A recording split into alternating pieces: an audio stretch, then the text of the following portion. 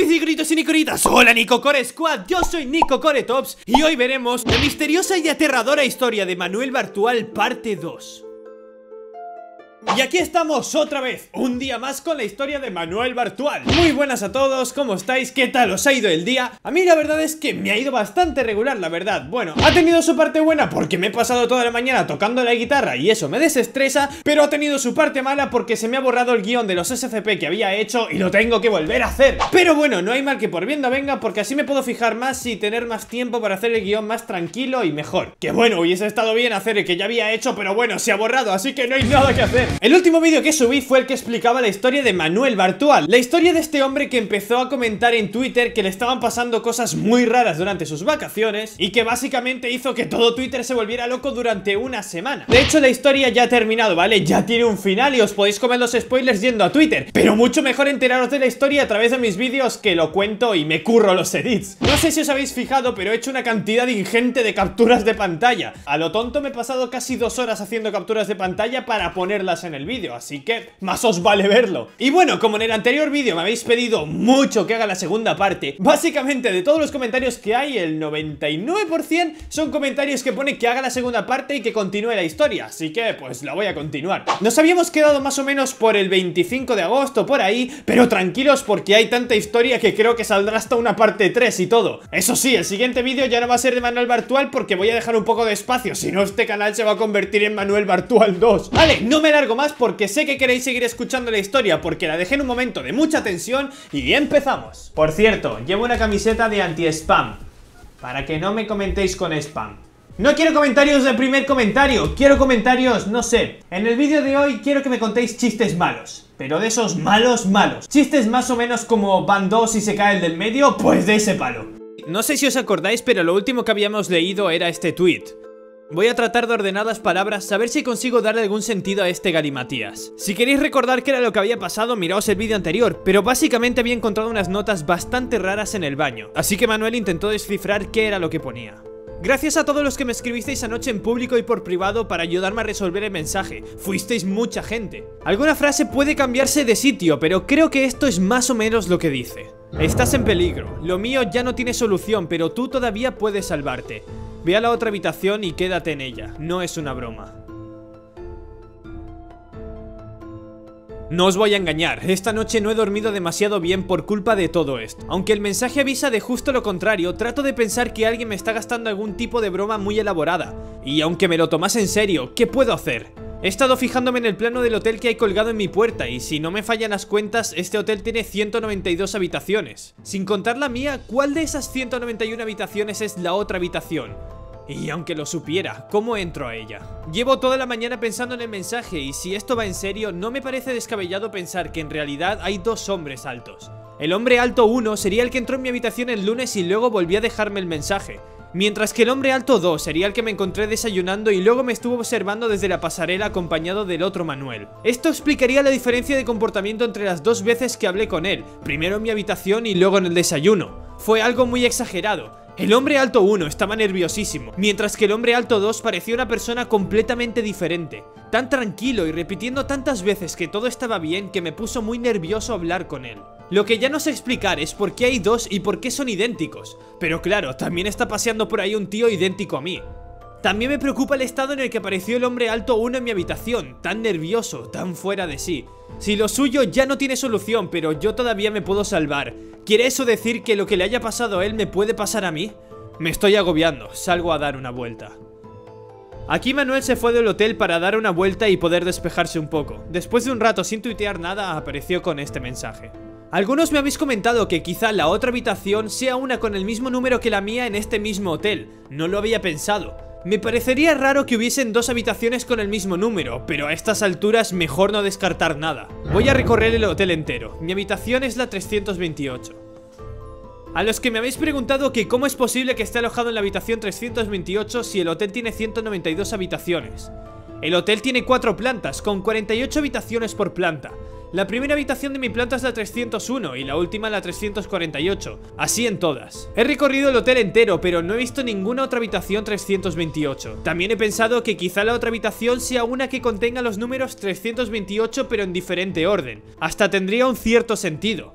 La única otra combinación de 328 que da como resultado un número de habitación que exista en este hotel es 238. He probado a llamar por teléfono a esa otra habitación desde la mía. Ha contestado una mujer en alemán. Al fondo se escuchaban un par de niños. Creo que la otra habitación debe ser otra cosa. Voy a echarme un rato, estoy cansado. Anoche no dormí demasiado bien. Aquí Manuel pasa un buen rato de nuevo sin tuitear, seguramente porque estuviese durmiendo, pero luego retoma Twitter. Acabo de despertarme de una siesta. He tenido un sueño muy raro. Caí al mar, no sé muy bien desde dónde, y al llegar a la orilla comenzaba a caminar hacia mi hotel. Al llegar a mi habitación entraba dentro y me encontraba allí a alguien idéntico a mí, así que salía y caminaba hasta mi casa. Esto es imposible porque no solo tardaría días en llegar, además hay un mar entre medias, pero bueno, ya sabéis cómo funcionan los sueños. Cuando llegaba a casa entraba y Manuel Bartual ya estaba allí, Bajaba a un bar y lo mismo, otro Manuel Bartual tomando algo en ese mismo bar.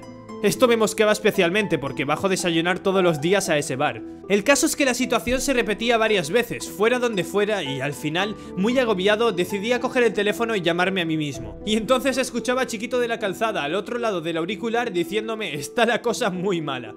Y bueno, menos mal, porque el sueño estaba siendo un auténtico agobio.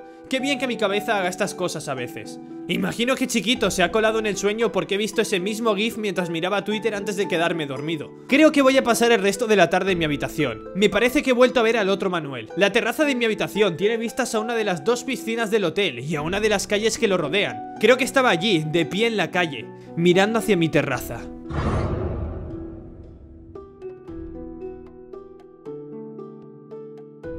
He entrado por el móvil para hacerle una foto, pero la calle estaba vacía cuando he salido. Estaba justo ahí, cerca del coche rojo. Joder, acabo de verlo otra vez. Está dentro del hotel, junto a la piscina. He apagado las luces de la habitación para grabar este vídeo. Espero que no me haya visto.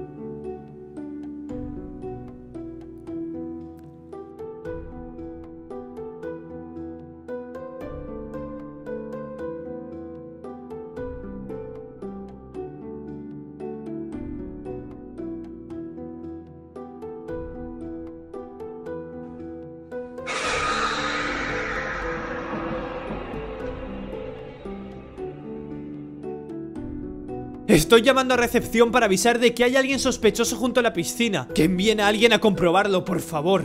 Mierda, ya no está.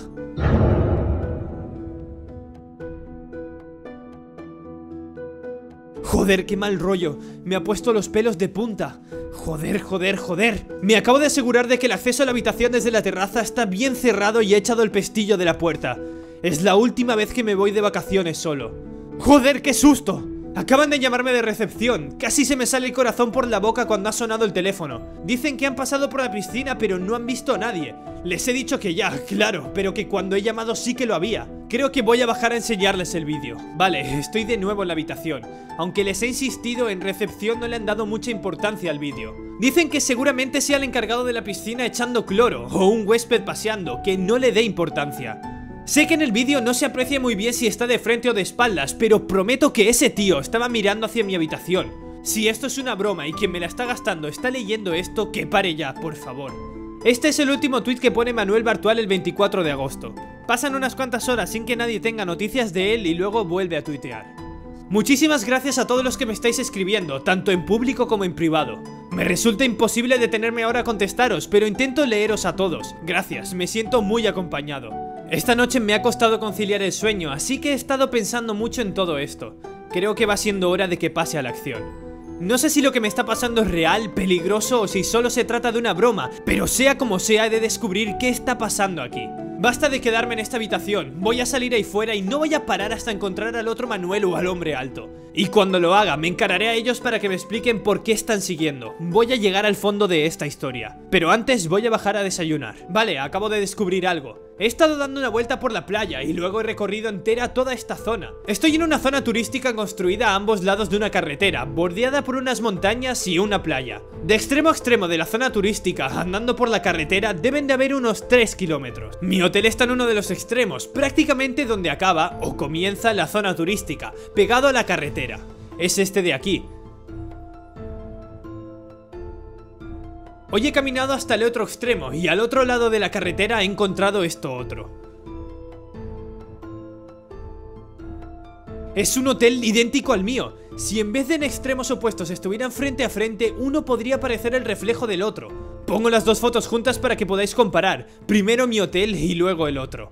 Quizás se traten de dos hoteles de la misma cadena hotelera, aunque no parece que el mío pertenezca a ninguna. Estoy delante del otro hotel, voy a entrar a preguntar. Vale, ha sido todo muy raro. He estado hablando con una mujer que me ha atendido en recepción. Ha sido muy amable, pero muy fría también. Me ha recordado mucho a cómo se comportó el hombre alto 2 cuando me crucé con él en el desayuno. Hablaba prácticamente igual, casi como si alguien o algo estuviera esforzándose por parecer humano. Le he insistido mucho porque no conseguía que me diera una respuesta clara, tan solo sonrisas y un no se preocupe, todo está bien. Por más que le preguntaba por las similitudes entre su hotel y el otro en el que estoy alojado, esto era lo único que me respondía. Voy a volver a mi hotel a hacer las mismas preguntas en recepción. He estado hablando con los empleados que hay en estos momentos en la recepción de mi hotel. Dicen que no saben nada de la existencia de otro hotel idéntico a este en esta misma zona. Les he pedido que me acompañen para mostrárselo. Me han mirado con cara rara y me han dicho que ahora mismo no podían, que volviera más tarde. Creo que no me han tomado demasiado en serio. Tampoco voy a culparles, seguramente ya me conozcan como el puto loco de las historias o algo por el estilo. Es lo que yo pensaría de mí si yo fuera uno de ellos. En fin, no sé, lo que tengo claro es que después de este descubrimiento, la otra habitación debe ser la 328 del otro hotel. O por lo menos me parece la explicación más lógica ahora mismo. Voy a ir allí, pero no me quiero precipitar. Antes voy a pensar muy bien qué hacer cuando llegue a la otra habitación. Muchos me estáis preguntando que por qué no me olvido de todo esto y vuelvo a casa. Básicamente es porque me conozco. Necesito saber qué está pasando aquí o acabaré obsesionado con este tema más de lo que ya estoy. Estoy en el bar de mi hotel. Creo que lo más sencillo va a ser afrontar esto desde la serenidad. Iré a la otra habitación y llamaré a su puerta. Si hay alguien allí y me abre, hablaré con quien sea que esté en el lugar. Le pediré que me explique qué está pasando, y si no hay nadie, siempre tengo la tarjeta que abre la puerta de mi habitación. Como muchos me habéis dicho, quizás sirva para abrir la habitación 328 de ese otro hotel. Si esto llega a pasar y entro solo a esa habitación, ya no sé muy bien qué haré allí dentro. Pero quizás si descubra por qué he de ir allí. Ahora solo me falta reunir el valor para hacer todo esto. Os aseguro que no es fácil. Voy a pedir, voy a pedirme otra cerveza. Ok, voy para allá. Me tiemblan las piernas, pero voy a ir para allá. Estoy en la puerta del otro hotel, voy adentro. Acabo de traspasar el hall. Está todo justo al revés que mi hotel. Esta piscina en el mío está saliendo por aquí, pero a la derecha.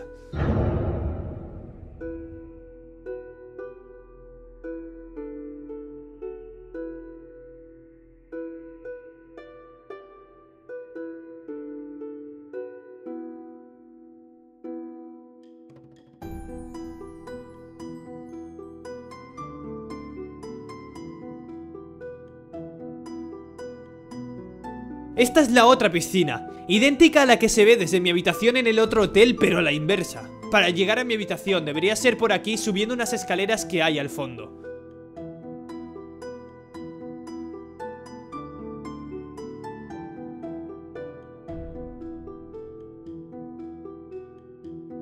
Tengo el corazón a mil por hora.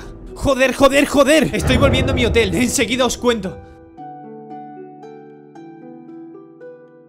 La historia se está poniendo mucho más interesante y de verdad, siento tener que pararla aquí, pero es que llevo ya más de 30 minutos de grabación. Cuando lo edite se va a cortar un poco y me saldrá un vídeo de unos 15 minutos, pero tampoco quiero largarme y montarme aquí un vídeo de media hora. Así que ya sabéis, si queréis una tercera parte dejadme un montón de likes, comentadme abajo qué os ha parecido Comentadme abajo que queréis la tercera parte y como ha pasado en el vídeo anterior, yo la haré. La verdad es que esta historia es como un creepypasta pero día a día y bastante larga, así que está genial. Y bueno chicos, esto ha sido todo por hoy. Si os ha gustado la macabra y turbia historia de Manuel Bartual Comentadlo aquí abajo y si queréis la tercera parte, comentadlo mucho Estalqueadme por Twitter y estalqueadme mucho por mi maravilloso Instagram. También me podéis seguir en la página de Facebook pero no os prometo ninguna respuesta por allí porque la tengo un poco abandonada. Pero bueno, cada 160 años más o menos me meto en la página de Facebook y comento cosas, así que no perdáis las esperanzas. Por mi parte, nada más, espero que os haya gustado el vídeo, como os he dicho antes, dejando un like gigante, estalqueadme en todas mis redes, comentad qué os ha parecido, comentad qué os ha gustado y qué no os ha gustado,